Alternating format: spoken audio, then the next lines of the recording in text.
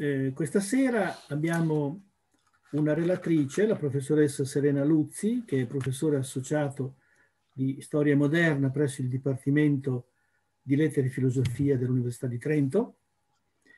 Tra i suoi interessi di ricerca diciamo che eh, abbiamo la storia sociale e culturale del Settecento, la storia delle minoranze, la storia delle migrazioni in antico regime, la, le scritture carcerarie, poi i gesuiti e la guerra giusta, per quanto attiene alle pubblicazioni, mi limiterò a citarne due. Una, Stranieri in città, presenza tedesca e società urbana a Trento, secoli XV-XVIII, pubblicata dal Mulino nel 2003. E la seconda, invece, che è strettamente collegata agli argomenti che sono stati trattati nella prima conferenza e in quella di questa sera, L'edizione critica dell'opera principale di Carlo Antonio Pilati, il cui titolo è Di una riforma d'Italia, ossia dei mezzi di riformare i più cattivi costumi e le più perniciose leggi d'Italia, pubblicata nel 1767 in forma anonima, che avrà poi una nuova edizione nel 1770. Questa edizione critica è stata pubblicata dalle edizioni di storia e letteratura nel 2018, quindi recentissima e, e deve essere costata eh, una notevole, notevole impegno e fatica alla curatrice, appunto la professoressa Luzzi. Uh, qualcuno di voi forse ricorda il video che è stato pubblicato il 15 giugno 2020 e questo video, che naturalmente rimane sempre nel sito, quindi può essere rivisto da chi, da chi lo, lo vide allora, ecco, qui abbiamo una bella lezione della professoressa Luzzi sulla, proprio su quest'opera, su questa opera principale dell'illuminista Carlo Antonio Pilati. Ecco, quindi rinvio a quella perché è veramente una lezione molto bella, sia dal punto di vista della formale che sostanziale, ovviamente. Adesso, per non perdere tempo eh, non rubarle tempo, do, le do la parola e noi ascoltiamo volentieri la conferenza di questa sera, insomma, dedicata appunto alla questione, alla questione della censura di Stato in rapporto agli scrittori a processo, il titolo Maria Teresa, Carlo Antonio Pilati e la censura di Stato. Anche nella lezione precedente aveva parlato di censura, ma non voglio anticipare nulla, non voglio eh, rubare spazio ulteriore. Prego, prego Serena. Grazie Claudio, buonasera a voi tutti. Grazie Claudio prima di tutto per l'invito, oltre che per questa generosa uh, presentazione. Ringrazio il pubblico che sta seguendo questa conferenza a distanza, ahimè. Um, sì, il titolo di questo intervento, Claudio lo ha ricordato, è Maria Teresa Carlo Antonio Pilati e la censura di Stato e i protagonisti sono prima di tutto in realtà due, la censura per l'appunto, in particolare la censura di Stato da una parte e dall'altra le regole non scritte, per così dire, della comunicazione uh, politica. Pilati è il terzo eh, tra gli attori, l'attore che subisce, eh, subisce un sistema, un sistema di controllo censorio che come vedremo non sembra comprendere eh, fino, fino in fondo. Allora il primo attore su cui focalizzare l'attenzione è la censura di Stato nel corso del Settecento. Quando parliamo uh, di censura, in genere pensiamo alla censura ecclesiastica, agli indici dei libri proibiti eh, astilati da Roma, pensiamo all'Inquisizione no? e, e, e, così via, eccetera. Ecco, il ruolo della censura di Stato invece viene tendenzialmente, anche dalla storiografia, eh, tendenzialmente sottovalutato o addirittura ignorato. Al contrario, se consideriamo il Settecento, gli studi ci dicono, ci segnalano che l'azione censoria e il controllo della stampa da parte degli apparati statali settecenteschi sono più efficaci rispetto alla censura ecclesiastica. Questa è una realtà che vediamo in tutti gli stati europei, non solo lungo eh, la penisola. È un processo peraltro di cui si discute non solo nel chiuso dei salotti, ma anche attraverso eh, opere date, date, alla stampa. No? A chi spetta la proibizione dei libri? Questo è uno dei tanti quesiti no? che, di cui si discute. Beh, la risposta per molti è pacifica, non alla Chiesa, ma al governo secolare, allo Stato. Gli apparati di controllo ecclesiastici in ogni caso si mostrano lenti, lenti rispetto ai tempi molto veloci dell'editoria europea dell'epoca che inonda il mercato librario di titoli anticuriali, antipapali, libertini, titoli insomma ritenuti scandalosi, pericolosi, immorali, a danno della stabilità della società. La circolazione eh, libraria, peraltro nel corso del Settecento, è davvero massiccia e su questo versante la Chiesa è in difficoltà. Troviamo opere eh, messe all'indice dopo due, tre anni o addirittura sette, otto, dieci, dodici anni eh, eh, dopo la pubblicazione, anche se poi, una volta intercettati, restano all'indice eh, per decenni, per non dire per secoli. Ecco, dicevo, gli apparati censori, quindi ecclesiastici, sono silenti, però non smettono di controllare, di proibire e di censurare. Ora, in questo contesto parliamo della uh, censura cattolica, mh? Mm, parliamo quindi della Chiesa cattolica, però ecco, tutte le chiese fanno ricorso alla censura. Ecco, quindi eh, perfino l'Olanda, i Paesi Bassi, che secondo un luogo comune sarebbero i paesi della libertà censo, dalla censura, eccetera, eccetera, ecco, perfino ad Amsterdam si allestiscono roghi di libri come vengono allestiti a, a Roma e come vengono allestiti in realtà ovunque. In ogni caso bisogna anche aggiungere che non c'è condanna ecclesiastica che possa arrestare, fermare la circolazione o la lettura di, di, un Beccaria, di un Montesquieu, di un Voltaire, eccetera, eccetera, di un Pilati anche. Concentriamoci adesso eh, um, sull'attività censoria a Vienna, dove le circostanze non sono diverse. Alla Corte uh, di Vienna di censura di Stato si discute ormai da vent'anni e anche più. Il primo decreto di Maria Teresa è emanato otto mesi dopo eh, la sua elezione nel giugno del 1741, quindi è una priorità, è un problema. No? E 1741 è il primo eh, di una serie ininterrotta di decreti che dopo 40 anni di governo ammontano a, a più di 100 ordinanze e sono ordinanze sempre più severe. Per esempio una patente del, del 46, autori, stampatori, librai, distributori dei volumi che sono stati censurati o sono censurabili per i contenuti, sono tutti ugualmente rei. Rei cosa vuol dire? Che si, si intende colpire il patrimonio, ma non solo l'onore ed eventualmente anche um, la vita cito, Gut, Leib, Er und Blut. Quindi si prevede, si commina perfino la pena, la pena capitale.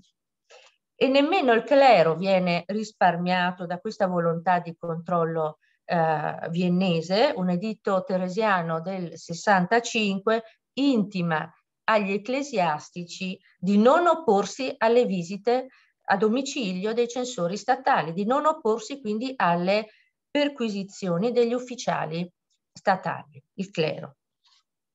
Il fatto è che ormai la censura è considerata in tutto e per tutto come un ramo della gestione amministrativa statale. Cito, un ramo della civile polizia ed economia pubblica dello Stato, così la definiva il cancelliere Kaunitz, braccio destro, come sappiamo, di Maria Teresa. Oh, nel quadro di questo tipo di programma di polizia anche Vienna allestisce i suoi cataloghi dei libri proibiti, proibiti quindi non dalla Chiesa di Roma, ma dallo Stato. Il primo indice eh, di Stato austriaco risale al 1754. Da allora escono con frequenza abbastanza regolare, aggiornati questi indici, fino al 1776. È interessante notare come ehm, si trovino censurati libri a Vienna che invece Roma, la Chiesa di Roma, ammette e viceversa. Un'analisi quantitativa condotta su questi cataloghi eh, ha contato che i titoli condannati appunto da Vienna furono grosso modo 4.200 nell'arco di un ventennio, non sono pochissimi rispetto a, a, alle stime diciamo dell'epoca. Un altro dato, la virulenza censoria eh, si fa registrare in particolare nel primo decennio fino alla fine cioè degli anni um, 60.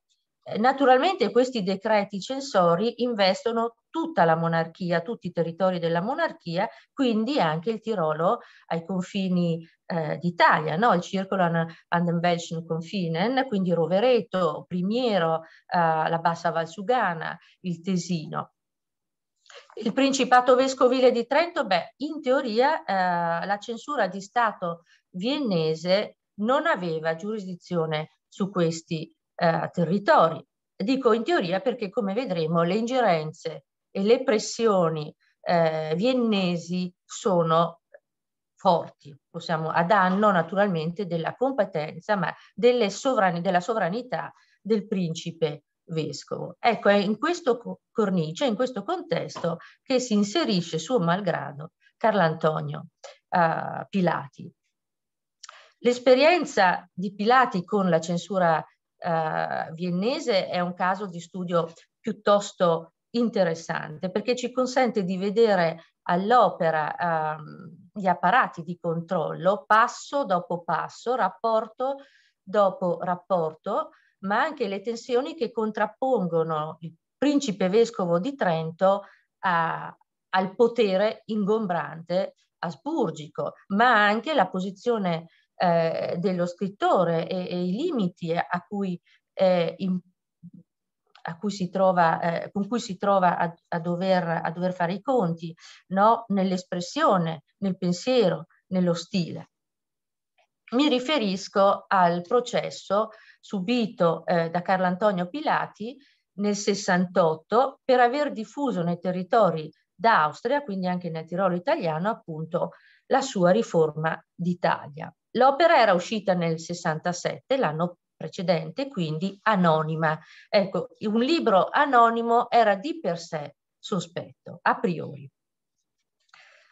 Come sappiamo, eh, il libro di, di Pilati è, è un'opera di proposte e di denuncia, no? affronta il tema del rapporto tra Stato e Chiesa, si espone contro la Corte eh, Pontificia, contro frati e moniaci, sollecita una tolleranza religiosa molto molto generosa, molto ampia, inedita, estesa all'Islam, all'ebraismo, chiede una riforma del sistema educativo, della giustizia e così via, tutti temi di estrema attualità eh, all'epoca.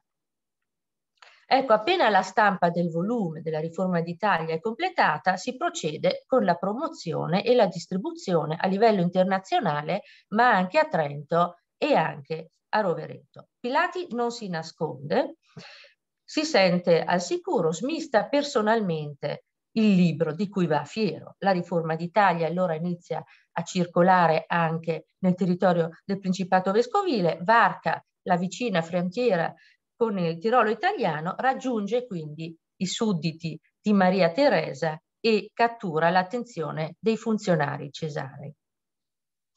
Il libro di Pilati viene infatti intercettato eh, a Rovereto.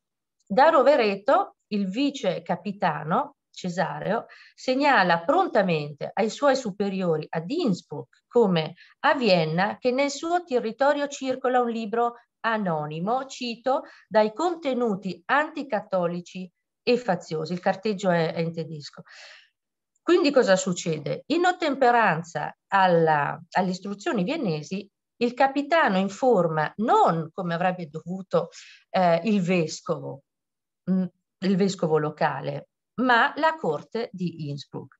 Il caso vuole che il vice capitano allora di Rovereto fosse un cugino di Pilati, un parente, no? Giannicolo Cristani, però naturalmente ogni risvolto uh, personale eh, è bandito dall'azione dei funzionari di Sua Maestà. Siamo al 7 giugno 1767. Prende avvio d'ora in poi una fitta corrispondenza tra il vice capitano di Rovereto e i suoi superiori negli uffici di Innsbruck e di Vienna. Il carteggio si trova uh, conservato negli archivi uh, di Innsbruck e ci rivela in modo trasparente, direi, come operano appunto gli apparati di censura di Stato teresiana. Una copia del libro viene richiesta ad Innsbruck, un'altra viene richiesta a Vienna il verdetto è pronunciato molto rapidamente. La riforma d'Italia è un'opera, cito, scellerata, scandalosa, anticattolica, unanstößliches Buch wieder die katholische Religion. Quindi se ne prescrive la distruzione, rogo, secondo una pratica peraltro consueta non solo nel contesto della censura teresiana, ma ovunque.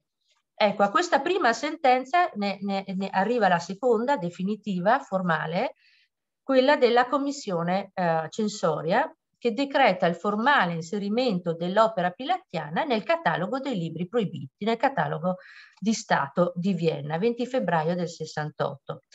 Vale la pena sottolineare che i censori sono nominati dalla Corte e non dal Vescovo non dalle eh, eh, referenti eh, ecclesiastici. Domanda, chi ha voluto la condanna della riforma d'Italia? A Vienna, anche perché alcuni contenuti erano compatibili con la politica teresiana, no? Purtroppo non lo sappiamo, Uh, non si può escludere che la, che la, paternità della condanna sia di Maria Teresa stessa, come accade in alcuni casi, o forse va attribuita all'arcivescovo eh, di Vienna, il trentino Cristoforo Migazzi.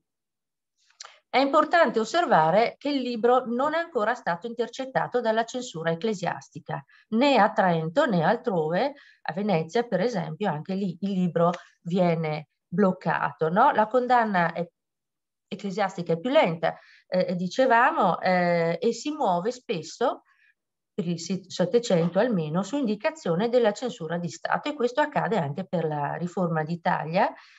Il bando ecclesiastico contro la riforma d'Italia viene pronunciato solo a seguito dell'iniziativa tirolese, quindi a Trento, poi a Feltre e poi a Roma ed è a questo punto che eh, la riforma d'Italia viene effettivamente condannata anche all'indice eh, dei libri proibiti di Roma è in buona compagnia, per la verità, nella seduta che condanna il titolo pilatiano, 29 luglio del 67, si censurano altri nove famosi libri, tra i quali le opere di Rousseau.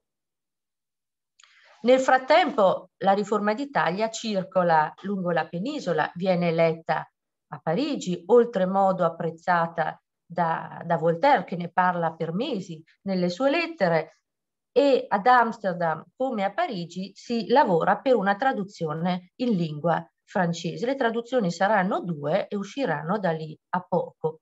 Ma torniamo a Rovereto, al circolo ai confini uh, d'Italia. Il libro viene intercettato e a questo punto la macchina censoria asburgica si mette immediatamente in moto. Le lettere inviate da Innsbruck a Rovereto ordinano non solo di bloccare uh, la diffusione del libro incriminato, ma di individuare l'autore. Questa diventa una priorità. Bisogna punire l'autore, trovarlo, scovarlo. Bisogna trovare il tipografo, i responsabili della circolazione. E allora cosa si fa? Si prosegue con un'indagine, per così dire, a tappeto in tutti i centri del circolo ai confini d'Italia. Si fanno visite presso privati e presso le librerie sulla base di misure attive già dal, dal 45, da, da, parecchi anni. No? Eh, c'è una patente del 45 appunto con cui si afferma il diritto alla perquisizione nelle case, sulle persone, nei bagagli. Pilati non sa niente perché queste, questo tipo di indagini eh, sono, vengono fatte, sono fatte nella segretezza. L'indagine a questo punto si estende alla città di Trento dove, l'abbiamo detto, il controllo dei libri eh, dovrebbe essere affare gestito interamente dal Tribunale ecclesiastico, vescovile, così non è. A Trento le indagini vengono invece gestite dal capitano della città, rappresentante della Casa d'Austria da molti secoli, come sappiamo una, una presenza parte delle istituzioni tridentine. All'epoca il, il capitano è Gasparo Migazzi, che ordina anche la perquisizione della posta delle lettere, quindi di Pilati o a lui eh, destinato. Ma nei carteggi di Pilati non c'è verso di trovare una eh, de, dichiarata, definita la paternità eh, dell'opera. Mm, sono altri carteggi che consentono di avere la prova approvata. E, ehm, bene, però i sospetti si accumulano, insomma, c'è chi sa, il Migazzi, il capitano, è molto abile nel raccogliere, nel raccogliere gli indizi, quindi una pesante serie di indizi si accumula. Migazzi ne, ne ricava una relazione che viene mandata e ad Innsbruck e a, Tiro, e, e, e a Vienna. Siamo a metà dicembre, 15 dicembre del 67. Vienna a questo punto chiede, meglio, impone al principe vescovo di Trento di imbastire un processo che approdi a una laute satisfazione, a una condanna esemplare. Quindi cosa succede? Cosa vediamo? Eh, che per, dire, per esercitare la sua volontà eh, repressiva, la censura di Stato ricorre a quelle che erano le tradizionali istituzioni censorie ecclesiastiche, il tribunale ecclesiastico per l'appunto. Bene, a un mese dalla relazione di Migazzi il processo viene aperto, siamo al 15 gennaio del 68, inizia la discussione dei testimoni, 16 persone, amici e conoscenti di Pilati che vengono chiamati nelle sale del Castello del Buon Consiglio a deporre.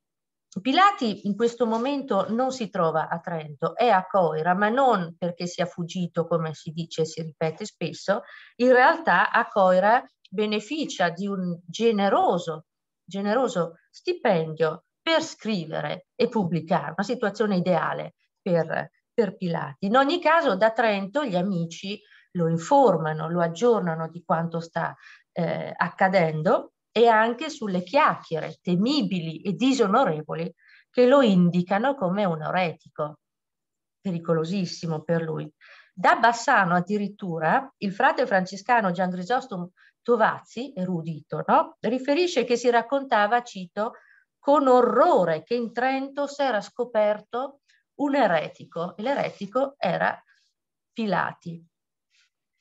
Ora, uh, un radicato luogo comune storiografico attribuisce la responsabilità del processo al principe vescovo di Trento, allora Cristoforo Zizzo. No, ma l'abbiamo detto, in realtà il processo è formalmente sì gestito da Zizzo e, e non riesce a fare altrimenti, ma eh, imposto da da Vienna. Anche su questo punto gli archivi di Innsbruck, la documentazione eh, raccolta ad Innsbruck eh, non lascia dubbi.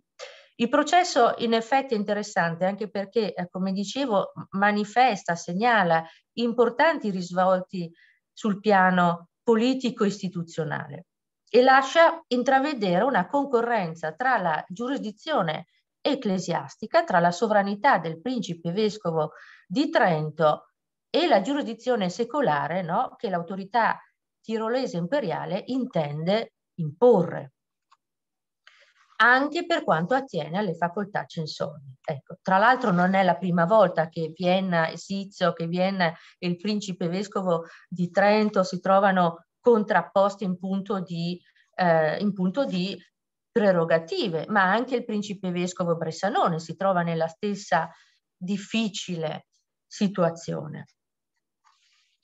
Ecco, allora dobbiamo ammettere, eh, così è, nel processo a Pilati il principe vescovo Sizzo svolge un ruolo del tutto subordinato, subisce le decisioni prese eh, oltre Alpe, decisioni prese altrove. Quindi, eh, quindi ogni fase del processo è condotta sotto il controllo e sulla base delle istruzioni provenienti da Innsbruck e da Vienna, fino alla sentenza. Vienna chiede, sollecita, eh, il bando perpetuo contro Pilati dal territorio del Principato Vescovile, espulsione a vita. Non solo chiede il sequestro dei beni. Pilati di beni non ne aveva molti, ma insomma quei pochi. Eh, ecco, e quindi cosa si voleva colpire? Non solo il libro, appunto, ma anche la persona dell'autore e della sua famiglia e il suo onore, tra l'altro, oltre che i patrimoni. Peraltro presunto autore, perché la prova provata mancava. E Pilati, dal canto suo, cade dalle nuvole a Coira e si arrabbia pure, dice, eh, si aspettava la censura ecclesiastica, ma non quella di Stato. Sottovaluta, non è aggiornato, diciamo così. Quindi i risicati spazi di azione che Sizio può occupare eh, vengono usati a beneficio di Pilati. Anche qui si è detto, ma come un vescovo che, che protegge Pilati? Beh sì, perché no? Ci sono di, dinamiche clientelari, familiari, sociali, tanti aspetti, che, che, tanti fattori che eh, giocano un ruolo no? in questa come in altre vicende. Ecco, l'Asizzo cerca in effetti di proteggere lo scrittore, media in suo favore, manda lettere, scrive lettere ad Innsbruck, sottolineando che a carico di Pilati non c'erano prove, solo ipotesi e congiunture. Mm? Come a dire, non c'erano elementi per condannare Pilati. Dietro a Zizzo ci sono anche gli amici, ci sono anche i protettori naturalmente, no? Ed è attraverso gli amici che Zizzo fa sapere a Pilati che il processo è stato istruito, cito, per cagione delle premure fattegli dalla Corte di Vienna. Quindi si scusa, si giustifica. Hm? E ancora, si scusa di avere le mani legate. Zizio conosceva la riforma d'Italia, sì, certo la conosceva, eh, eh, l'ha vista circolare sotto i suoi occhi, ma non sembra esserne troppo scandalizzato. A chi gli chiede se davvero ritenga Pilati innocente, Piz, eh, Sizzo risponde con un sorriso eloquente. La conosceva. La familiarità è tale che Pilati da Coira invia una lettera arrabbiata, arrogante vorrei dire, difendendo il proprio ruolo uh, di scrittore. È il dicembre del 68, la, la possiamo leggere insieme condividiamo lo schermo. Eccolo qua. Non c'era motivo, scrive Pilati a Zizzo, di spedirmi l'inquisizione e però molto meno di infamarmi con un'indegna citazione. Dove si è mai più praticato nei nostri umani tempi di molestare giudizialmente una persona sospetta di aver pubblicato un reo libro? Quando non si vede nel frontespizio il nome di quella, beh, è proprio questo uno dei problemi, che il libro era uscito anonimo. Vivono in Francia, in Spagna, in Portogallo, in Napoli, in Milano ed in altri luoghi dentro e fuori dall'Italia, tranquilli e senza nessuna molestia, gli autori di libri che furono abbruciati. Comunque vediamo se riusciamo ad andare avanti. Vivono pacificamente ed onorati gli autori di operette sommamente abominate dalla corte di Roma e dai religiosi. Vivono in Francia stimati gli autori di opere ardite e non hanno sofferto, non hanno subito molestia alcuna e neanche perduto le loro cariche. Vi vive in mezzo a tutti gli agi mondani il bestemmiatore di Dio e della religione, tollerato unicamente perché non mette in fronte il suo nome a libri detestabili. Ora, il bestemmiatore eh, di Dio, le cui opere Pilati ha letto, è il barone Dolbach, eh, eh, un intellettuale raffinato, un filosofo, ma ateo. e Pilati, come tantissimi all'epoca, condanna l'ateismo. No? Pilati però non dice che Dolbach, quando è in pubblico, si protegge camuffando la propria posizione. No? Un, conto, un, conto, è esprimerla al chiuso dei salotti dell'elite e un conto è metterla per iscritto con un nome, insomma, quindi qui Pilati appunto finge di non, uh, di non sapere. Um, e appunto grazie a Zizzo, dicevo, alla sua mediazione e anche alle resistenze che noi cogliamo in questo uh, carteggio, eh, se Pilati evita il bando perpetuo.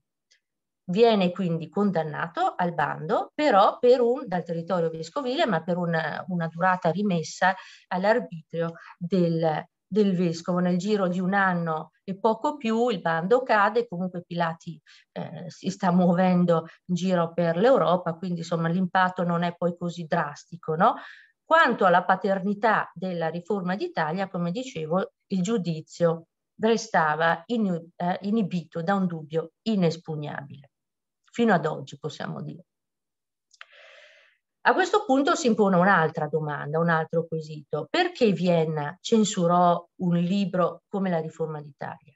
Due fattori, secondo me, hanno giocato un ruolo decisivo. Il primo, una sfortunata coincidenza eh, temporale, perché eh, mentre Pilati inizia, mentre esce il libro e inizia a, a, a far circolare eh, l'opera, eh, esce anche nell'aprile del 67 eh, un decreto viennese risolutivo in materia eh, censoria con cui si ribadiva la necessità di una serie di misure, peraltro già adottate, rogo dei libri sospetti, punizione severa non solo per l'autore, ma anche per chi ne fosse stato trovato in possesso, confische e perquisizioni, sia nel contesto, sia per il clero, sia per i laici.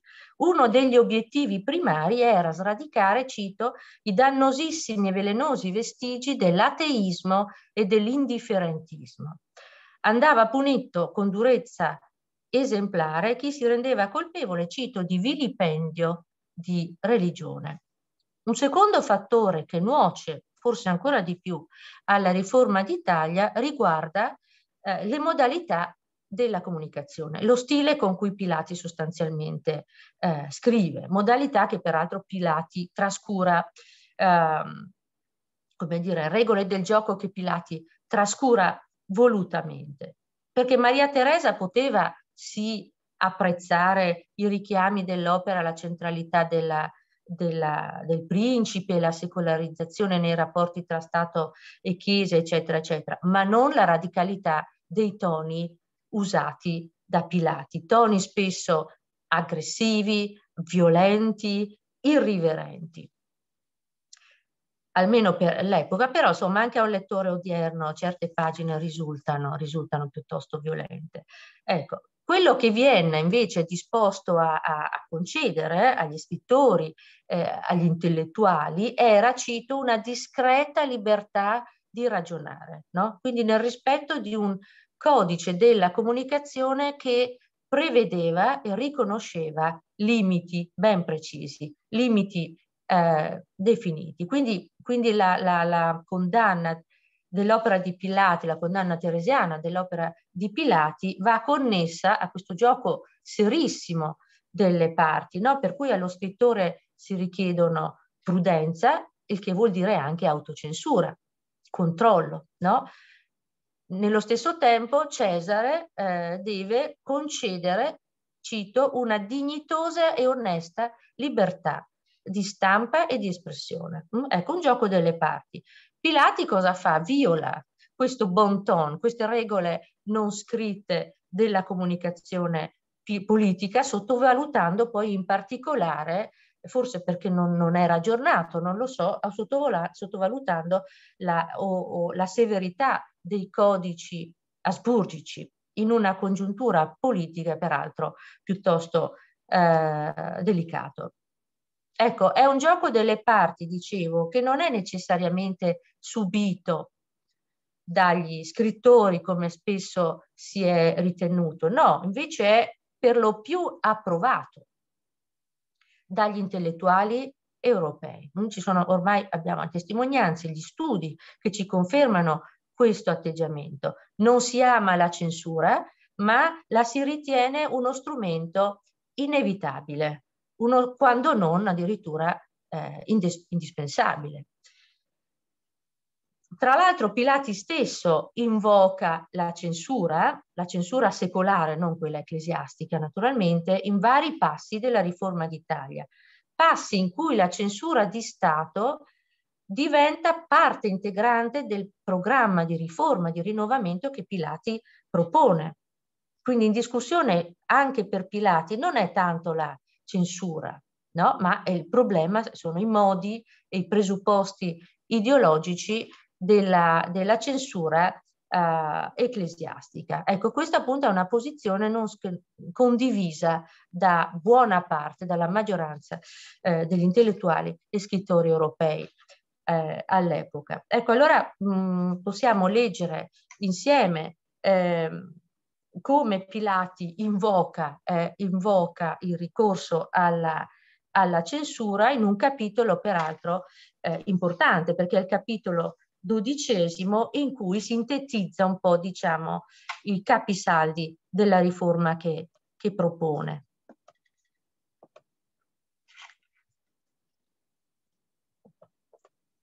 Eccolo qua, siamo appunto al, al, al dodicesimo capitolo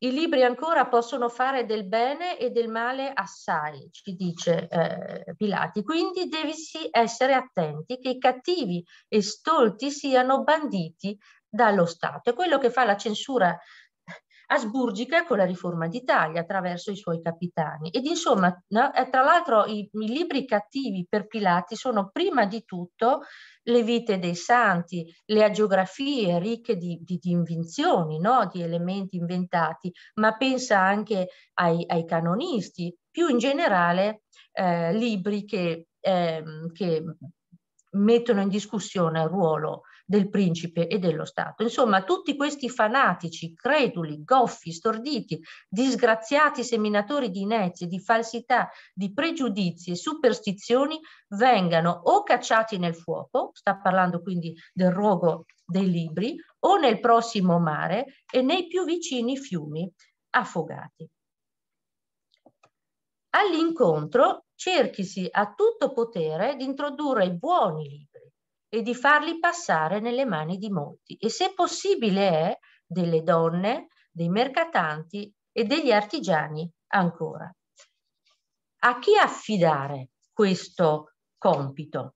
Pilati pensa a, censori colti, molto colti, ma anche spregiudicati e soprattutto leali esecutori della volontà del principe. Sentiamo ancora cosa ci dice Pilati. A questo fine vuolsi creare dei censori i quali siano di finissimo gusto e liberi da ogni pregiudizio. A questi avrassi da dare l'incombenza di vegliare perché i cattivi libri che sono nello Stato ne vengano mandati fuori e quei che non vi sono ancora non vi possano venire introdotti giammai. Pilati alla fin fine è, è, vittima, è, è vittima, di un sistema eh, che, a cui fa riferimento, che appoggia. Essi avranno pure da rivedere ogni manoscritto, in questo caso quindi eh, richiama l'attenzione anche sulla censura preventiva. Allora, rivedere ogni manoscritto prima che nello Stato possa venire stampato e non potranno a ogni libro che sia cattivo dare la permissione di poter uscire a pubblica, a pubblica eh, luce. Allora interrompo di nuovo la condivisione, poi torneremo per l'ultima slide. Um, ecco, torniamo a, a questo punto a un'esperienza iterata di Pilati con gli apparati censori. Pilati mh, mm, lascia a un certo punto nel 69 Coira e coltiva nuove ambizioni eh, in Laguna, a Venezia, dove lo troviamo verso la fine, de, tra no, novembre, sì, novembre del 69, e dove si muove ricorrendo ha uno pseudonimo perché è, è attivo il bando eh, tridentino. Vale la pena ricordare questo eh, momento se non altro perché in qualche modo è legato al pranzo di Natale che Pilati consuma con i Mozart padre e figlio. Allora a Venezia eh, Pilati si muove sempre più disinvolto, entra in certi circuiti riformatori eh, del, del giovane patriziato veneziano, gode della stima di Caterina Dolfin che gli assicura eh, sostegni importanti. Nelle librerie veneziane si vendono senza nasconderli i libri di Pilati, anche se sono censurati, ma la presenza di Pilati non passa inosservata. Gli informatori prendono nota dei suoi movimenti, spiano i colloqui che si tengono lungo le, lungo le calli, osservano il consenso e l'interesse che lo circondano, riconoscono presto non solo la sua identità, ma l'identità, la paternità di tutte le sue opere, riforma d'Italia compresa. A questo punto, nel giro di pochissimi giorni, gli inquisitori di Stato, censura di Stato quindi, giudicano sgradita la presenza di Pilati a Venezia, meglio nel contesto della Repubblica. Pilati viene definito reo maestro, cito, troppo celebre autore di vari libri empi e sovversivi. A questo punto Pilati viene condannato al bando perpetuo e questa volta è perpetuo eh, davvero dai territori della Serenissima, viene arrestato nella notte nella sua stanza, condotto in barca sul Po ai confini, sorvegliato da sei sbirri eh, armati. È il 21 dicembre 69. A carico di Pilati adesso ci sono due bandi, situazione pericolosissima, situazione drammatica. Cosa fa? L'unica cosa che può fare Pilati è cercare di ehm, raggiungere Rovereto, naturalmente illegalmente, perché a Rovereto c'è il cugino, no? Eh, che insomma eh, che in qualche modo deve aiutarlo. E il cugino in effetti vice capitano lo ospita, lo nasconde e quindi viola le norme Cesare, perché insomma dal momento in cui accetta no, eh, il cugino in, in, fuga. È ormai Natale, peraltro vice, eh, vice capitano Cristani è impegnato con due ospiti eh, speciali, mh, mm, uh, Leopold Mozart, che era stato un suo antico maestro di violino durante gli studi a, a Salisburgo, e il figlio tredicenne, Wolfgang Amadeus. Di queste giornate abbiamo uh, una preziosa testimonianza nelle celeberrime lettere di Leopold che riferisce eh, non solo del banchetto in casa del, del vice capitano, ma anche dei commensali. No? È tutto un, un, un, rievocare gli anni trascorsi a Salisburgo, ricordi di infanzia, in un, in un contesto, una situazione allegra, no? molto piacevole. Ora, però, cosa succede? Nella lettera di Leopold nella lettera di Leopold Mozart uh, si, si, racconta che abbiamo trovato il Ponte VII è Lodron, il consigliere consistoriale Cristani, zio di Pilati, un certo Pilati, eccetera, eccetera. Eh, allora è strano, è strano, insomma, eh, cioè, dobbiamo capire questo indefinito riferimento a Pilati, questo veloce cenno alla presenza di ein gewiss Bilati, no? di, questo, eh, di un certo Pilati. Pilati sappiamo da tante fonti che è persona eh, brillante, peraltro ha studiato anche lui eh, con Cristani a Salisburgo, sa perfettamente il tedesco. Perché Mozart lo ricorda così a malapena?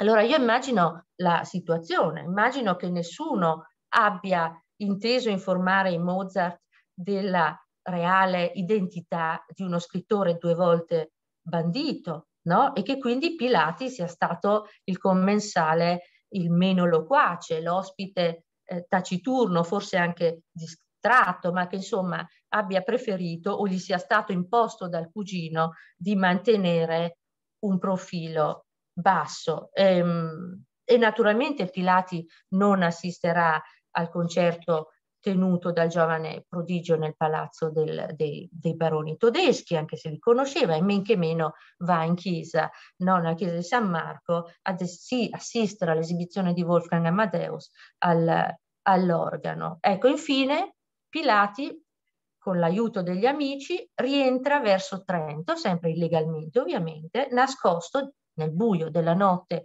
in una carrozza perché? Perché ha ottenuto da Zizzo, quindi dal principe vescovo di Trento, rassicurazioni che non sarebbe stato arrestato. Zizzo quindi ancora una volta si presta di nuovo a fingere di non vedere, di non sapere, eh, eh, impegna la propria eh, parola, mostrandosi distante dalla logica eh, e dalla mentalità invadente, per così dire, e punitiva della burocrazia imperiale, che, che, che viene percepito come un potere anonimo, distante. E d'altra parte Zizzo aveva evidenziato una certa perplessità eh, rispetto alla conduzione del processo contro, contro, contro Pilati. E vengo eh, allora alla conclusione.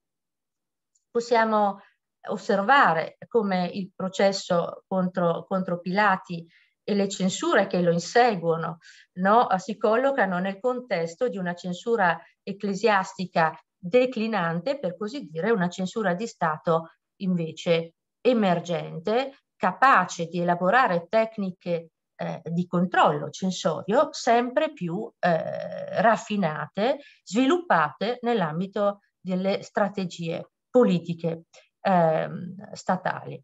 È però questa, tutto sommato, anche una storia di libri che circolano nonostante i divieti, è una storia di complicità più o meno inaspettate, no? di dinamiche sociali e eh, clientelari, clientelari in cui i rapporti personali, gli amici, i protettori, Sizzo, eccetera, riescono, almeno in alcuni casi, a sovrapporsi e a imporsi alla volontà di controllo delle istituzioni. Grazie.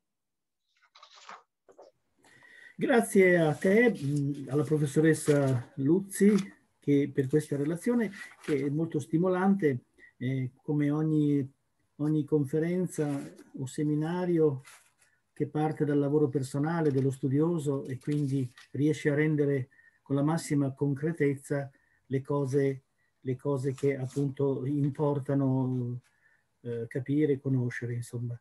E, mm, mi chiedevo, eh, ci sono tanti, la, la, situazione è molto complicata perché da una parte Pilati sostiene una, la, la, tesi, diciamo una tesi conciliarista per combattere il, la supremazia del Papa, mette in discussione, mi sembra di ricordare, la, la tesi dell'infallibilità del Papa e quindi il, eh, mette in discussione la, eh, la legittimità dell'esistenza di uno Stato della, della, Chiesa che non può essere né monarchico né democratico né aristocratico perché questo non avrebbe senso. E, e, e quindi in qualche modo potrebbe essere un alleato di, diciamo, della, della, corte asburgica, quindi in qualche modo per fronteggiare questo, ecco, questi è, però non ha molto peso, diciamo, questo, questo nella censura che si vuole, che si vuole eh, diciamo, eh, col, con cui si vuole colpire lo stesso Pilati. Um, l'altra domanda che ti volevo porre è, riguarda eh, la, la possibile influenza di Rousseau. Rousseau il contratto sociale del 1762 Sappiamo delle traversie che cioè, è stato bruciato più volte a Parigi, a Ginevra, il contratto sociale e, e, e Rousseau stesso è stato perseguitato, poi alla fine se l'è cavata, ma eh, è stato eh, veramente sofferto moltissimo. E, ehm, ma è, perché il concetto di religione civile che è nel contratto sociale eh, è qualcosa che forse non è del tutto, diciamo, incompatibile con la, la, la visione che Pilati ha della religione, considerando che lui condanna la superstizione, ma condanna anche l'ateismo come eh, altrettanto deleterio. E lo stesso Rousseau è fermamente convinto che non si possa assolutamente accettare un ateo nella, eh, nella compagine, diciamo, di uno Stato, di qualunque Stato. Quindi eh, in qualche modo, ecco, ecco, vi chiedevo se c'è, eh, se cita, perché tu hai detto tra l'altro la volta scorsa che è una, mh, è un, il, le riforme d'Italia è, è, compilatorio, cioè contiene molte citazioni e mi chiedevo se, se cita anche Rousseau tra, tra eh, sono, c'è anche Rousseau tra gli autori che lui, di cui lui, che lui utilizza. È ben vero che, non, che, che è difficile risalire eh, agli autori come tu hai ricordato, però magari c'è qualche indizio, non so, ecco. Mi... Provo a risponderti. Prego, prego, grazie, scusami. Provo, provo a rispondere, eh, Claudio. No, per quanto riguarda mm, la decisione di, di Vienna, um, al di là delle, effettivamente dei, dei vari punti di, di contatto, um, però la proposta di Pilati viene, a, a parte anche non, anche non, volendo considerare la, lo stile, eh, Pilati davvero però insiste in maniera eccessiva su alcuni passaggi. Per l'epoca eh, la sua può, può risultare una proposta molto forte, anche perché è una proposta affidata a un testo pubblicato, non sono proposte che si considerano nel chiuso eh, appunto dei salotti o della corte lungo i corridoi del potere. No, Pilati lo urla nelle piazze, questo non si fa. Se c'è, Kaunitz per dire insiste con i, con i suoi ufficiali, i suoi referenti eh, eh, sulla, sullo stile sommesso, fare e tacere. Pilati invece urla, veramente sceglie uno stile urlato e questa è una tattica sbagliata. Um, per quanto riguarda rapporti con, con, con la Chiesa, certamente già Maria Teresa insomma, eh, mira a, a, a, recuperare spazi giurisdizionali no, ampi e, e, quindi non è, solo, eh, non è solo il figlio, non è solo Giuseppe II no, che, che, che, porta avanti una certa politica, è stato già dimostrato, eh, non so se Elisabeth Gams, che mi onora della sua presenza mi, mi, sente, ma insomma lei, lei per esempio ha dimostrato che c'è una, una forte, una forte eh, continuità. Però ecco, Pilati insiste sul fatto di togliere la temporalità al Papa in maniera radicale. Insiste anche, c'è un capitolo sulla tolleranza, molto bello, peraltro secondo me non, non condiviso da Pilati, ma insomma qualcuno l'ha scritto e comunque risulta nel libro. Mm ed è una tolleranza troppo estesa.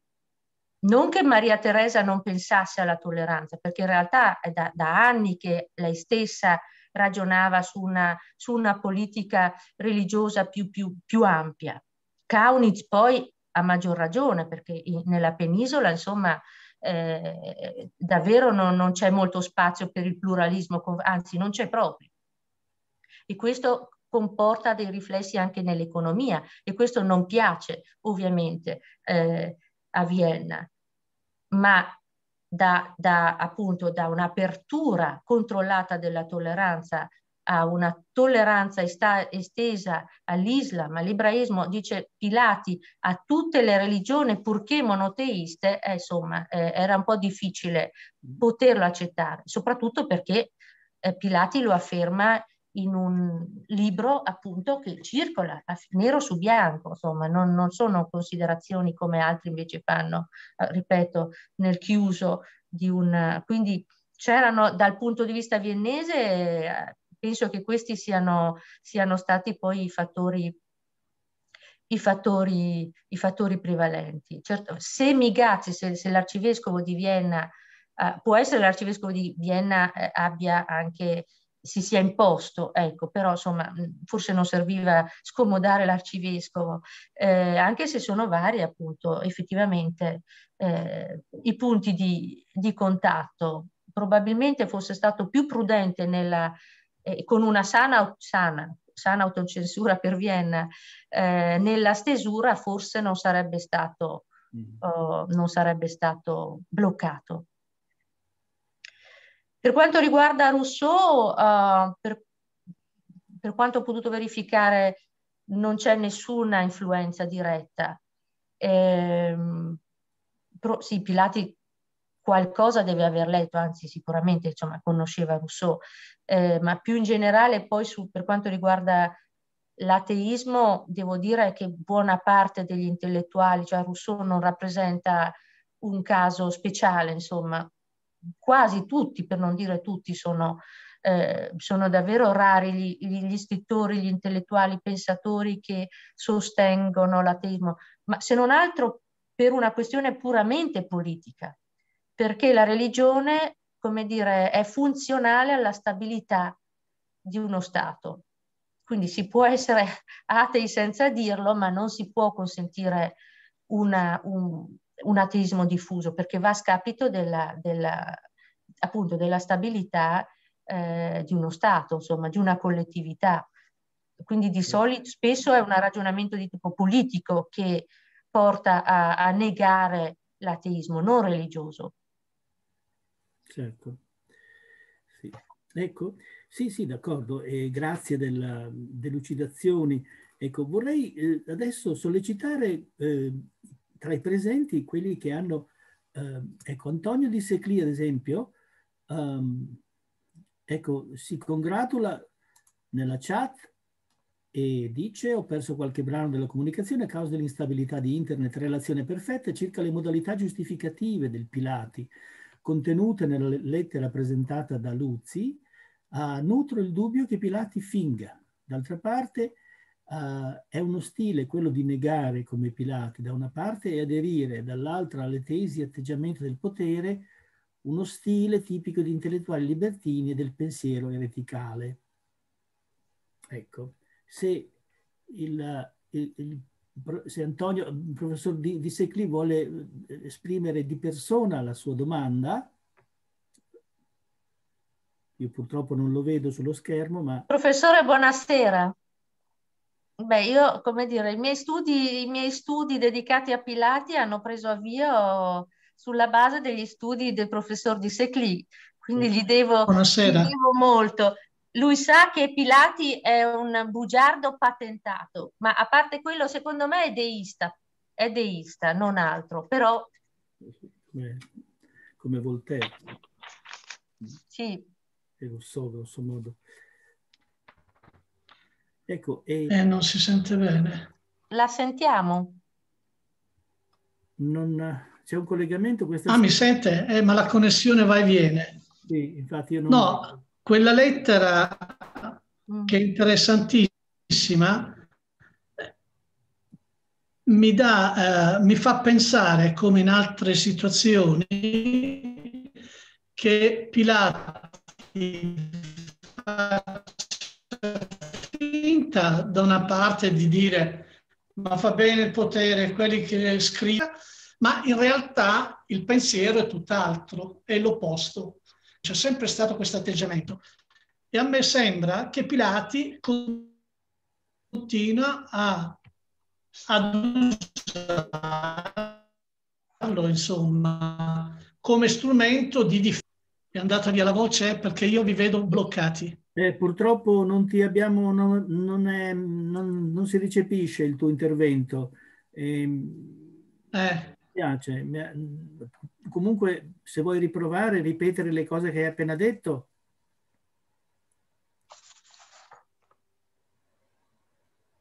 No, allora stavo dicendo, sì, ma credo, credo che a Luzzi l'abbia già detto molti anni fa, che quando Pilati dice, come nel caso di questa lettera, eh, è giusto bruciare i libri, buttarli nel fiume, nel mare, eccetera, eccetera. I libri che propagano, che spargono menzogne roba del genere. In realtà è una forma di finzione. Si sente? No. Sì, sì. sì. Ecco, d'accordo. Va bene. Mm, Serena, se vuoi rispondere. Um...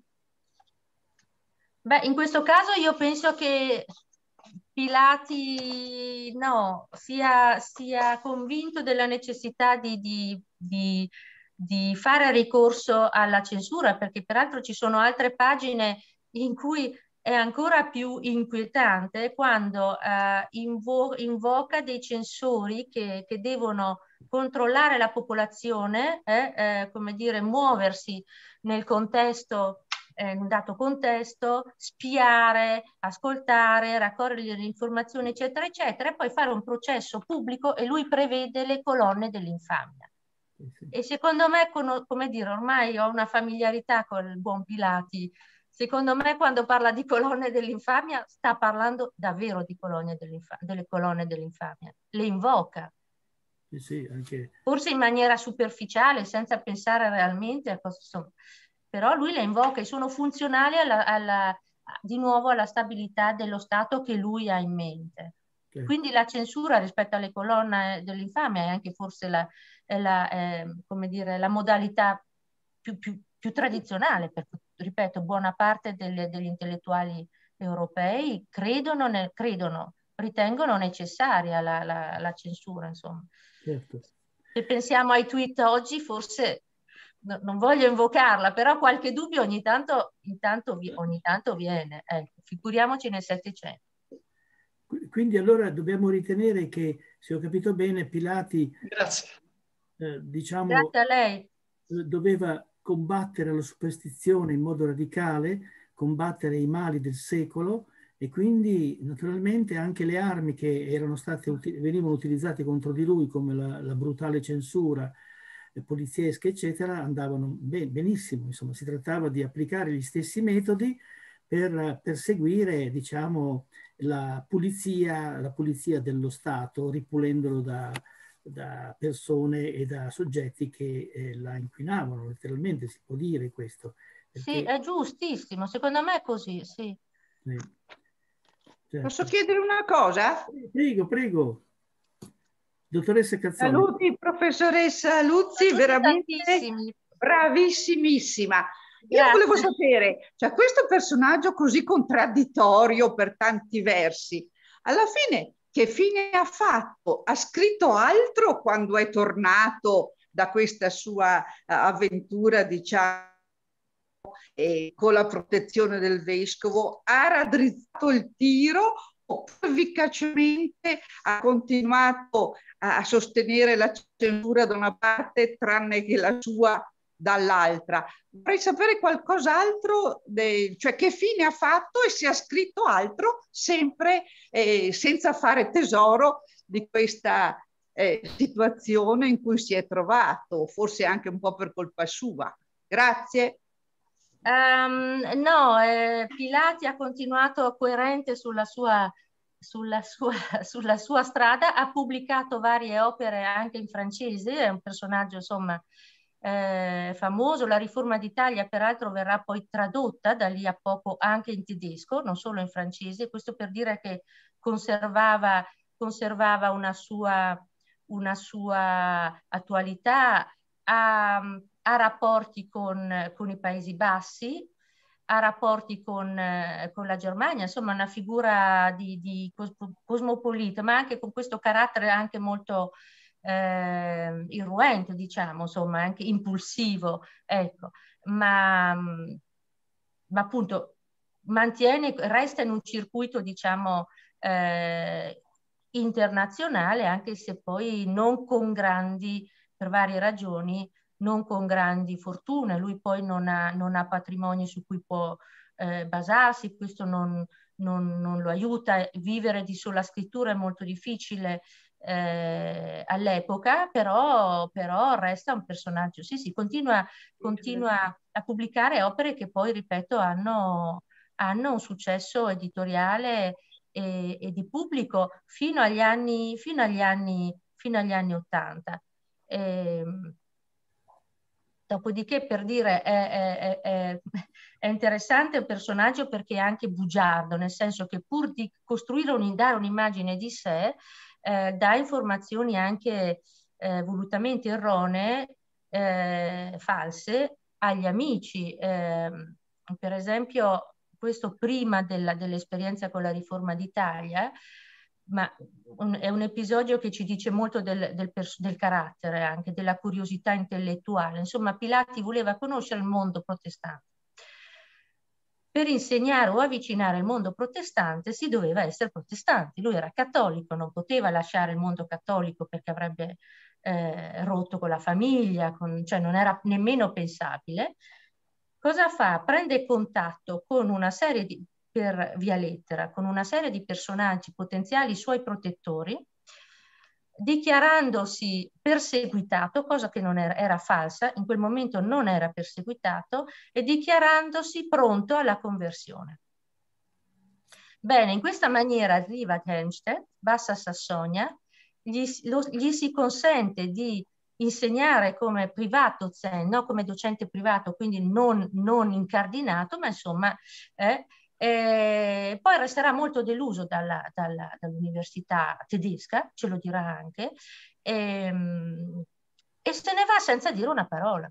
Lì, lì, lì, scopro tutto un mondo di un'editoria inglese che in Italia non c'era, tutta una serie di autori che a lui erano sconosciuti e che diventano molto importanti anche nella sua visione filosofica, e, e poi se ne va e torna in Italia e dice all'amico Bassetti, ma insomma la Germania sono veramente indietro questi del mondo protestante per quanto riguarda eh, il mondo il mondo accademico, ma da lassù manda lettere false, ovviamente non si è mai convertito e anche lì c'è, ma perché non si converte? Cosa aspetta? Perché non era quello, il suo, non poteva avrebbe perso tutti i rapporti in Italia, non poteva rientrare si fosse convertito, ma fa anche questo. Ora, que, cioè, tutto il carteggio, non è che, come dire, non è una mia ipotesi, tutto il carteggio in un archivio privato conservato in un insomma disperso, non, non ricordo neanche come sono riuscita, come sia riuscita a imbattermi in quell'archivio. E, ehm, e, ci sono queste lettere che, che, sorprendono perché veramente poi si fa passare per barone, non è barone, non, cioè è, è, è, solo parte della nobiltà anaune, nonesa, no? Eh, eh, vescovile, altro che barone. Insomma, ripeto, Pilati è anche questo e non è l'unica sua bugia. Eh, dopodiché è anche l'autore di un libro, di un'opera molto importante che sono i Voyage, eh, che, parlano, che parlano anche della sua visione dell'Europa, della sua esperienza di, di viaggiatore per l'appunto. Anche questa opera addirittura fu pubblicata anche in olandese, che vuol dire proprio investire in un'opera che si ritiene di, di, di successo. No, è, è, interessante sia dal punto di vista della, di scrittore, dell'intellettuale, sia dal punto di vista della sua personalità. Tratti è un po' bischero l'uomo, devo dire. Poi morirà, morirà Tassullo, rientra anziano e in una lettera scrive cioè, qualcosa del come è bella la Val di Non. Va, eh, belli, cioè, territori così belli non ce ne sono in giro per l'Europa, solo la Valle di Non. C'è quindi questo, questo conflitto, no? amore e odio con, con, con, la patria. Ma dice anche brutte cose che non posso neanche menzionare qui perché volgarissime nei confronti eh, della Val di Non. Non so se ho qualche, qualche dato, però eh, posso... posso Veramente eh, interessante. Sì, Bene. Prego Nadia. Posso? Sì. Allora, eh, Serena, a parte la gioia di averti rivista dopo tanti anni, sì. devo dire che ho apprezzato moltissimo la tua relazione ritrovando la, la chiarezza di esposizione che avevi usque a puerizia quasi al liceo e, e, mi è piaciuta molto anche la, la pacatezza con cui hai esposto eh, così la, diciamo, la, la, tua relazione. Eh, io non mi addentrerò nell'argomento per, perché sono ignorantissima, devo dire che abito a due passi, ho via Pilati di fronte a me e quindi adesso ogni volta che passerò di lì ricorderò ciò che ci hai raccontato. Eh, ma eh, dirò invece così con molta semplicità che mentre parlavi mi sono venute così in mente alcune cose e ho pensato proprio a, a Pilati come a un personaggio da social. Allora, non si ama la censura, eh, ma la si ritiene inevitabile, talvolta necessaria. Allora, fino a che punto fino a che punto sarebbe rispettosa della libertà e non ho potuto non pensare a quello che sta succedendo sui nostri social, il mio cervello ragiona attualizzando. L'altra cosa eh, parlava di libri buoni, libri cattivi, eccetera, eccetera. Ovviamente ci deve essere chi eh, sceglie, chi fa la selezione, chi decide tra il buono e il cattivo. Eh, fanatici, creduli, goffi, storditi, insomma ci sono persone alle quali ci si rivolge che non sono in grado, eh, secondo lui, eh, come anche noi riteniamo oggi, che non sono in grado di valutare, tant'è che hanno successo molti, molti libri eh, che, eh, che, non hanno valore, no? diciamo tanti bestseller così che sono diciamo dei, dei, successi costruiti a tavolino spesso, quindi qualcosa che ha a che fare con la necessità di eh, insomma, di, di costruire ecco, dei successi commerciali. E allora, eh, chi, il vecchio, il vecchio adagio latino, chi controllerà i controllori, chi controllerà gli ispettori, chi controllerà i censori? Eh, cioè, sono venute fuori in questa tua relazione che riguarda il Settecento, che riguarda questo personaggio così molto, molto originale, molto strano, geniale, eh, ma anche un po' bischero, no? l'hai definito, un po' farabutto.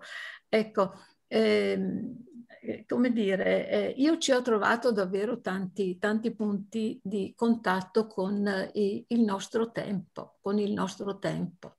Mi è venuto addirittura da, da pensare chi autorizza i 5 Stelle, visto che insomma in questi giorni no, si è fatto il governo, eccetera, chi autorizza eh, diciamo, eh, i 5 Stelle ad espellere dal, dal loro gruppo 15-30 persone, non so bene. Eh, che modi di fare sono questi? Io non ho simpatia per i 5 Stelle, ma insomma eh, diciamo che il modo di agire è, è, è abbastanza è abbastanza insomma, discutibile, no? Ecco, tu hai parlato di Carlo Antonio Pilati e io ho pensato a tutte queste cose. non mi devi rispondere, eh? soltanto no, eh... ti volevo dire tutte le suggestioni che mi sono venute così dalla tua, eh, così dalla tua relazione, come a dire nil novi, no? Non c'è nulla di nuovo no. sotto il sole, insomma, no? Queste situazioni ci sono state nei tempi antichi, ci sono state durante, diciamo, l'illuminismo e, e, ci sono oggi, insomma, sono, sono dei, dei, problemi che, che non sono di facile soluzione. Ho pensato anche a Eugenio Borgna quando dice le parole possono essere eh, aironi o possono essere pietre. Ecco, questa comparazione quando lui diceva ci sono i libri buoni e i libri cattivi, ma chi decide quali sono buoni e quali cattivi? Ecco, tutto no, qua. Grazie, Comunque, sono complimenti, questioni... sai, complimenti davvero. Grazie, detto dalla mia professoressa Vale. Eh, ehm, sono, questi, sono i principi che qui si impongono, no? Parli della libertà. Eh, Pilati no, non, questo, non, non, non, si pone questo tipo di, di domanda. No? Eh, il censore deve essere, l'abbiamo letto, deve essere colto, molto ben preparato, eh, deve essere mm, spregiudicato, quindi libero da pregiudizi di qualsiasi natura, deve essere funzionale alle politiche dello, del principe, no? e basta, e, e, e così risolviamo la, il problema. In questa maniera, con questo profilo noi riusciamo a selezionare i libri buoni da quelli cattivi. È, questo ci dice eh, Pilati, non c'è nessuna riflessione beh, di libertà, no, ma eh, tutti i libri che non sono funzionali, eh, ho capito, non è così semplice. Infatti qui come anche altrove Pilati è un po' troppo eh, diciamo superficiale, non lo so, insomma, troppo, eh, perché appunto non è l'unico passo che, eh, che, che, richiederebbe una riflessione adeguata. Non parliamo poi delle colonne dell'infamia, contro i giudici anche, eh, tra l'altro, non solo contro, contro l'attualità, l'attualità. Che, perché, perché, lui nasce come giurista no? nella, nella, formazione, quindi dice una bella colonna dell'infamia o un processo dopo la morte, vediamo come, come eh, come, come, si è comportato in vita questo giudice, questo avvocato, insomma cose pesanti. Però non, ci, non si pone questa domanda, noi no, non, non, la troviamo, sì, è molto sicuro in questo, però certo eh, fino a che punto la censura è, Forse però non lo dice, forse dopo la riforma d'Italia qualcosa forse impara, ma non sono così sicura. Grazie Serena. Ah, grazie a lei. D'altra parte il Settecento è un, è un secolo di pensatori radicali. Lo stesso Rousseau ammette la pena di morte nel contratto sociale, ah. perché per, per un, facendo con un ragionamento che adesso non sto a ripetere, ma quindi c'è una sorta di radicalismo che è quasi con, congenere al Settecento illuministi. Sappiamo come la rivoluzione francese è terminata, quindi con bagni di sangue, insomma, l'intransigenza dei vari Robespierre, eccetera, eccetera, e compagni. Quindi eh, dal momento che eh, la rivoluzione francese è stata, diciamo, l'espressione di questo radicalismo ideologico, appunto. Il seme va trovato e certamente, e quindi non mi stupisco, no, non mi stupisco di, di eh, vedere impilati appunto questa, eh, questa energica presa di posizione che denota un'intransigenza e una scarsa adesione al principio della libertà di pensiero, di, di, di espressione, parola, quello che già Spinoza aveva difeso nel trattato teologico politico nel 1670, un secolo prima ancora. Quindi mm, è difficile chiamarli anche illuministi. Chi è, chi è l'illuminista? Il tollerante? Tu dicevi giustamente che eh, l'altra volta che il, Pilati difende eh, diciamo, la, la, tolleranza anche in considerazione del fatto che eh, tutti gli stati hanno bisogno di manodopera esterna e quindi di grande attualità questo tema, quindi non si può ovviamente, l'intollerante dovrebbe precludere, chiudere le porte a, a, allo straniero che, eh, di cui pure ha bisogno nella, nei lavori, nelle, nelle attività. No? E quindi ci sono diversi, diversi, aspetti, diversi punti sui quali eh, si, si, potrebbe ragionare. Certamente eh, si tratta di, di questioni di difficili, ogni epoca storica ha i suoi limiti e, e quindi è impossibile, eh, come dire, eh, imporre una logica alle vicende umane senza considerare tutti i fattori compresenti, no? i rapporti geopolitici di allora non potevano, dettavano delle condizioni precise. Eh, quindi un certo protestantesimo che è presente in, in Mm, Pilati lo rendeva inviso naturalmente ai, al cattolicesimo romano, ma non era sufficiente per farlo apprezzare ai protestanti. E quindi la, la, sua, la sua, diciamo, difficoltà nel, nel eh, potrebbe, ecco questo te lo chiedo, eh, potrebbe essere ricondotta a questo suo rimanere in bilico, no? in qualche modo, tra i due, sui due versanti, quello cattolico e quello protestante, e con um, questa polemica feroce appunto contro eh, l'eccessivo numero di persone, di uomini col saio, insomma, no? che mh, improduttivi, oziosi e, e, pieni di superstizione, eh, quindi con toni piuttosto, piuttosto, eh, piuttosto forti. Ecco. Sì, poi ci sono altre, anche altre cose. Ma... Provo, provo a rispondere. Eh, nel frattempo voglio anche dire che la, la, la, prima ad aver capito quanto bugiardo potesse essere Pilati è Elizabeth Carnes. Eh, eh, tra le tanti aspetti del personaggio, ma questo eh, ecco, la, come dire, me, l'ha, me l'ha suggerito, anche questo me l'ha suggerito. Allora, protestanti contro, beh, contro i frati, eccetera, la sovrappopolazione demografica la sovrappopolazione degli ordini regolari era un problema ovunque, ovunque, perché erano veramente numeri, insomma, numeri preoccupanti, preoccuperebbero anche, anche, anche oggi, eh, quindi tutti i paesi cattolici, eh, addirittura già il Papa, non ricordo quale, a metà 600 si era posto il problema di limitare, di chiudere almeno i, i, i, conventi più piccoli con 12 membri che non avessero un minimo di patrimonio per sopravvivere. Eh, quindi non è che si debba essere protestanti nel sostenere posizioni come queste, perché, ripeto, era un problema economico, demografico, morale, politico, eccetera, e, e lo, tutti lo, lo, lo, sentivano. A Trento i frati erano chiamati mangiapagnotte, magna pagnotte, scritto nelle lettere, insomma, ecco, la dice già tutto. Eh, poi c'è un problema anche morale, ovviamente. Pilati non è protestante, non è filo protestante. Pilati conosce qualche protestante e, e lo usa in maniera funzionale al suo programma. Mette insieme, cioè come dire, toglie la dimensione eh, confessionale, mette insieme cattolici e, e, e, protestanti e calvinisti insieme, non, non è, per lui questo no, non è e non deve essere una, un problema.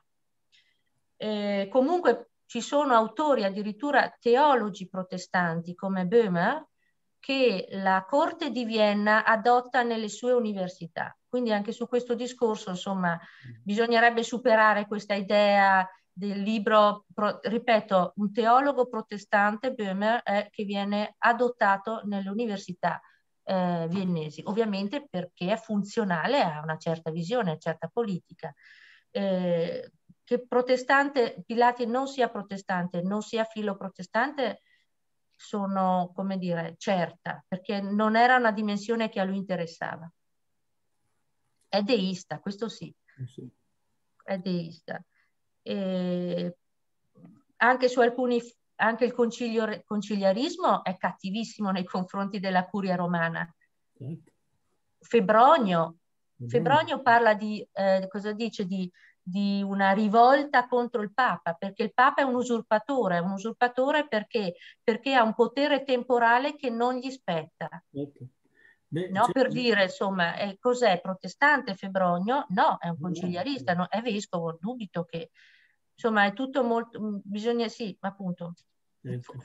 È, una, è, una, lunga storia che risale almeno al concilio eh, di, del 1415, eh, naturalmente eh, in cui abbiamo persino, deve sanare una situazione con il, il grande scisma con i tre papi, eh, quindi che eh, è dovuto appunto a questa, a queste, questa divisione interna al clero, all'alto clero della Chiesa dell'epoca, eh, dovuto appunto alla contestazione della pretesa del Papa di avere l'ultima parola e quindi di poter eh, condurre la Chiesa in modo monarchico, insomma già la crisi di questo... Certo. Bene. È, una, è una lunga storia, appunto, lunga per storia, cui sì, infatti, la categoria protestante o non protestante, se non, non, si va a vedere tutta questa dimensione più ampia, mh, mm, è, è fuorviante. Certo. Vedo la professoressa Garms, vedo, sì. e possiamo invitarla a intervenire, visto che tu l'hai citata prima più volte. Ah, deve attivare forse il deve microfono. Deve attivare l'audio, sa? Eccolo. Ah, ecco adesso, okay. adesso, sentiamo. Ecco, buonasera. Sì. Buonasera. a tutti. Um, mi volevo congratulare con Serena dal punto di vista austriaco per tutto quello che ha detto e tutto quello che sa e spero scriverà sul funzionamento della censura statale perché è un capitolo studiato da Grete Klingenstein in maniera magistrale negli anni 60, però ehm, la censura, la riforma della censura statale perio- nel periodo teresiano però da lì non sono andati molto avanti gli studi per un semplice fatto che tutta la documentazione o quasi tutta la documentazione ehm, relativa è, eh, è, bruciata nel rogo del Ministero della Giustizia nei moti politici del 1927 cioè molto difficile, solo in parte si sono in altre, in, in, par, in piccole parti si sono conservate le discussioni all'interno eh, della commissione di censura che ovviamente sarebbero interessantissimi di seguire, di sapere chi ha votato per eh, che cosa, eccetera. Tuttavia, quello che, che, mi ha molto colpito è l'itinerario che tu hai eh, disegnato col passare le, uh, attraverso le autorità regionali, perché credo che questo è un punto che finora non è stato preso in considerazione dalla ricerca storica austriaca. Eh, questo passaggio e l'importanza che le autorità regionali, nel tuo caso tirolesi, possano avere nei vari processi di denuncia, di eh, trasferimento di una causa da un tribunale all'altro o da un magistrato all'altro. Questo credo che sia molto importante. Tuttavia, anche, lo sapevo, ma, l'avevo dimenticato, anche questo legame tra i fratelli Migazzi. Mm.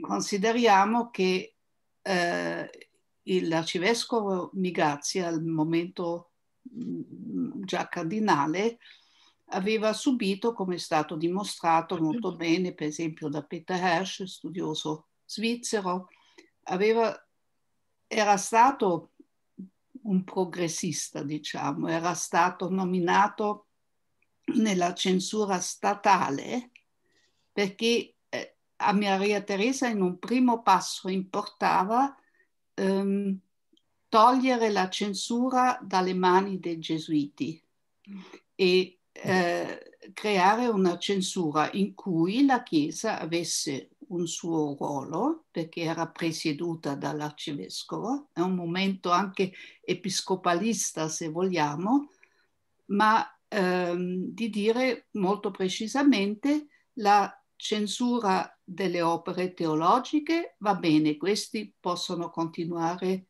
i teologi, il clero. Per tutto il resto è censura statale. Tuttavia anche chi eh, in quanto teologo eh, poteva dare un suo parere sulle opere eh, di carattere teologico, stava all'interno della, della commissione di censura statale. Perciò abbiamo qui un involucro eh, molto interessante che eh, comincia a come dire, a, a, a, cambiare il peso della singola voce del censore da, eh, da ecclesiastico a laico. E questo credo che abbia giocato anche molto nel, nel, caso, ehm, nel caso di Pilati e anche questo, eh, il fatto che Migazzi all'epoca era già passato, come dire, nel, nel campo nemico nel campo eh, dei, dei, conservatori, chiamiamoli quelli che Pilati avrebbe considerato nemici. Mm. E grazie comunque, è stato molto molto stimolante. Grazie. Grazie a te, grazie. Bene. Proverò, scusa, proverò magari a scrivere un saggio, però poi me lo dovrai leggere come sempre.